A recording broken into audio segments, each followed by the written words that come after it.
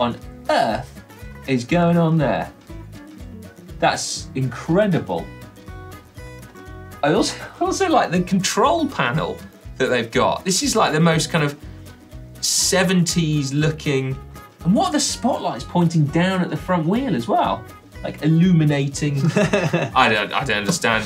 I mean, those do seem a little bit excessive, don't they? The the, the floor illuminators. They do, I like yeah. the um, I like the dual use of the big plastic box at the back, which looks like it homes the um, the battery. Oh yeah. As well as whatever else you want to put in that container. High vis jacket, yeah, that's cool.